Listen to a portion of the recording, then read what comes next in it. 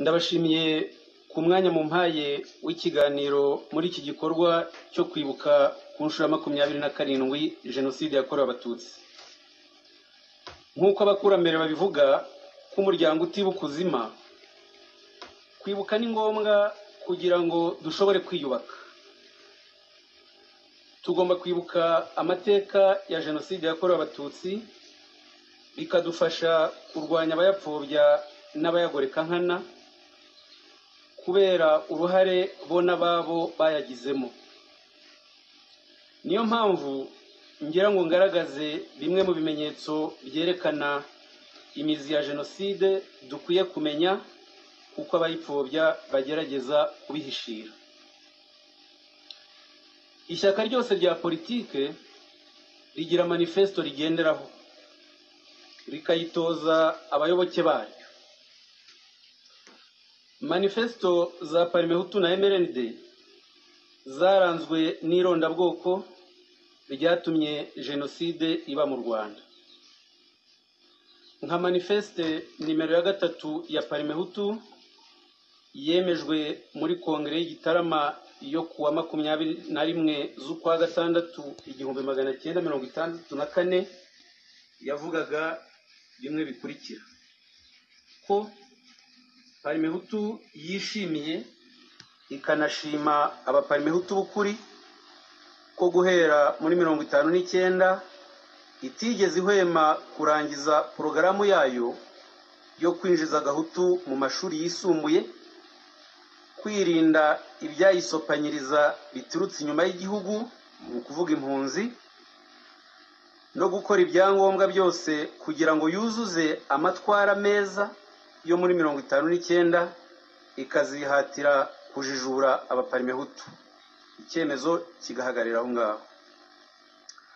Ayo matwara bita meza yo muri mirongo itanu n'icyenda yari amatwara yo gukandamiza abatutsi no kubica bitangijwe n'abategetsi. Nk'uko abanyarwanda bavuga ko umwere uturutse bukuru bucya wakwiriye hose. Gahunda zo gukorera igice kimwe cy'abanyarwanda ni nako zakomeje mu zindi manifesto zakurikiye nka manifesto ya kane yo muri nyakanga mirongo itandatu n'icyenda. Parimehutu mu miterere yayo ntiyatekerezaga umunyarwanda mumaze kubyiyumvira. Na mrnd yayisimbuye muri mirongo irindwi na gatatu ni uko yakomeje. Ideoloji z'irondabwoko z'ayo mashyaka nizo mizi ya kure ya jenoside yakorewe abatutsi. Hagati y'igihumbi magana cyenda mirongo cyenda na mirongo cyenda na kane mrnd n'agatsiko bari bafatanyije bateguye gahunda yo gutsemba abatutsi nk'uko bigaragazwa n'izi ngero ebyiri ngiye kubaha. Tariki ya mbere z'ukwezi kwa gatanu igihumbi magana cyenda mirongo cyenda n'umunani yohani kambanda wayoboye guverinoma yakoze jenoside yemereye mu ndahiro urukiko mpanabyaha mpuzamahanga rwashyiriweho u rwanda rwakoreraga rusha ko guverinoma yari ayoboye yashyize mu bikorwa umugambi wo kwica abatutsi wateguwe mbere y'ihanurwa ry'indege ya habyarimana tariki esheshatu z'ukwa kane igihumbi magana cyenda mirongo cyenda na kane abivuga muri aya magambo ye. Yewe jean kambanda nemera ko mu mwaka w'igihumbi magana cyenda mirongo cyenda na kane habayeho ibitero byateguwe bigamije kwica abaturage b'abatutsi biturutse ku mugambi wa leta wo kubarimbura. Nka minisitiri w'intebe nayoboye inama za guverinoma zatangaga amabwiriza ku baminisitiri ku ngabo z'igihugu n'abayobozi bakuru yo gukora jenoside no gukurikirana uko yakorwaga.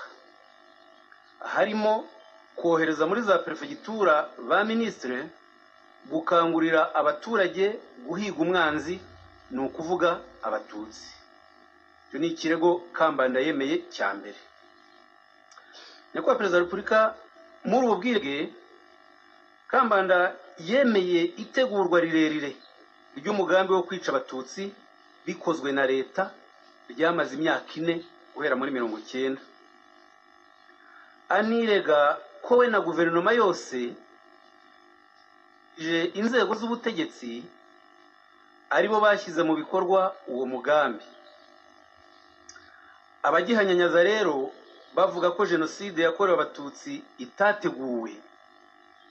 Bakayishakira izindi mpamvu nyoroshyacyaha baribeshya ubwabo kandi ikinyoma ntikiramba. Nyuma yo kwemera uruhare rwe n'urwa guverinoma kambanda yakatiwe igifungo cya burundu akaba afungiye muri gereza y'umuryango w'abibumbye mu gihugu cya mali. Urundi rugero ni uko mu byumweru bibiri jenoside itangijwe muri mirongo icyenda na kane. Abaturage ba butare ntibahise bayitabira. Bituma perezida wa repubulika sindi ku bwabo theodore na minisitiri w'intebe yohani kambanda bajya ku gikongoro ndetse n'i butare kuyihutisha. Ku itariki cumi n'umunani z'ukwa kane igihumbi magana cyenda mirongo icyenda na kane perezida sindi ku bwabo yagiye muri komine nyakizu abwira abaturage iri jambo. Abaturage ba nyakizu ni ubwa mbere mubona uruzinduko rw'umukuru w'igihugu. Naje kubashyigikira no kubashimira ibikorwa byanyu muri ibi bihe bikomeye. Nintaha ndaboherereza abantu bo kubafasha gukomeza aka kazi murimo. Kandi ndaza kureba n'uko nabagenera igihembo. Mukore nko muri mirongo itanu n'icyenda. Kuba perezida wa repubulika ashimira abicanyi agashishikariza abatarabukora kubwitabira abizeza kubibahembera.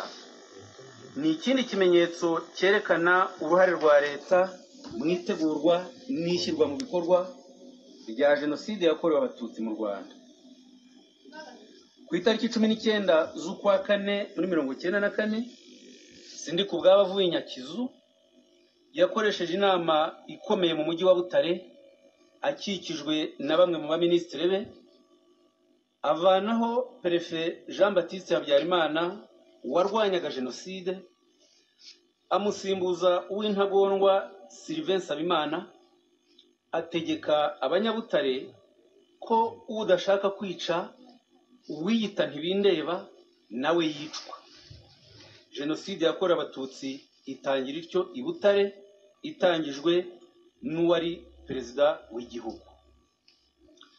Sindi ku bwabo asaba kwica nko muri mirongo itanu n'icyenda yagira ngo yibutse abakuru ko uwo mwaka wa mirongo itanu n'icyenda ariyo ntangiriro yo kwigisha abaturage kwica abatutsi kandi ko ababikoze ntawabihaniwe urugero ni yosefu habyarimana gitera wari perezida wa porosoma watangije icyiswe amategeko icumi y'abahutu muri nzeri mirongo itanu n'icyenda na za disikuru z'urwango z'abayobozi ba parimehutu n'indirimbo za korari yabo abanyuramatwi zabibaga urwango ababikoze bose ntawabihaniwe ahubwo abakoloni barabashyigikiye nyamara barwanya ishyaka rya inari. Ryari rifite muri manifeste yaryo guharanira ubumwe bw'abanyarwanda n'ubwigenge.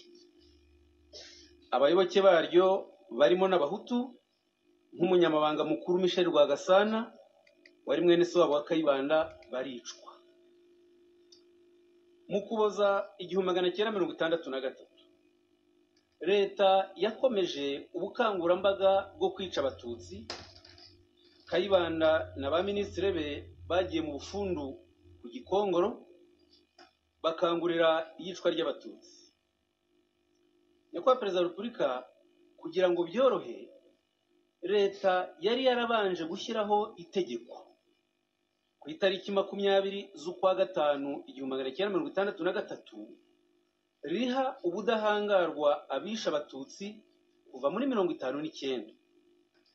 Kandi rigateganya ko abarwanyije parimehutu bo bazahanwa iyo niyo yabaye intangiriro yo kwimika umuco mubi wo kudahana mu rwanda. Iyicwa ry'abatutsi muri mirongo itandatu na gatatu ryakomeye cyane ku munsi mukuru wa noheli. Hameneka amaraso menshi. Bituma ababurokotse babwita noheli y'amaraso.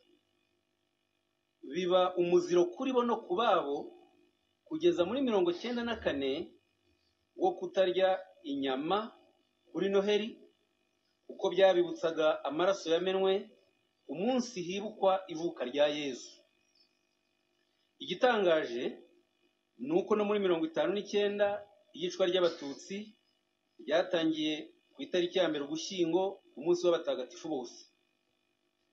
Yewe no muri mirongo icyenda na kane jenoside yakorewe abatutsi yatangiye mu cyumweru gitagatifu cya pasika. Uru ruhurirane rw'iminsi mikuru n'ubwicanyi hari isomo bikwiye kuduha kuko hari na za kiliziya zimwe nka nyamata ntarama zahindutse inzibutso nyange yo yasenyewe ku batutsi ku mabwiriza ya padiri seroma. Muri mirongo itandatu na gatatu raporo nyinshi z'amahanga. Inyandiko z'abanyamahanga bari mu rwanda. N'itangazamakuru mpuzamahanga zemeje ko iyicwa ry'abatutsi ari jenoside. Urugero rumwe muri nyinshi zihari hari umwanzuro wa guverinoma y'ababirigi wo ku itariki zirindwi z'ukwa kabiri igihumbi magana cyenda mirongo itandatu na kane washoje gutya. Bitewe n'ibibazo biri mu rwanda cyane cyane ibirego bishinjwa guverinoma y'iki gihugu birakwiye ko tubinyujije muri ambasade yacu mu rwanda dutanga amabwiriza ababirigi bagomba gukurikiza arebana n'ibikorwa bibera mu rwanda byo kumaraho abatutsi. Ibihabera byafashe isura nini ku rwego mpuzamahanga tukaba tugomba gukumira icyatuma ububirigi bushobora kuzashinjwa kugira uruhare muri jenoside. Bagahagarara aho ngaho. Iri jambo jenoside rigaragara kenshi mu nyandiko zivuga ku bwicanyi bwo muri mirongo itandatu na gatatu kandi bose bakabishingira ku miterere y'ubwo bwicanyi uko babubonaga basangaga bihuye neza neza n'ibiteganywa n'amasezerano mpuzamahanga agenga icyaha cya jenoside yo muri mirongo ine n'umunani.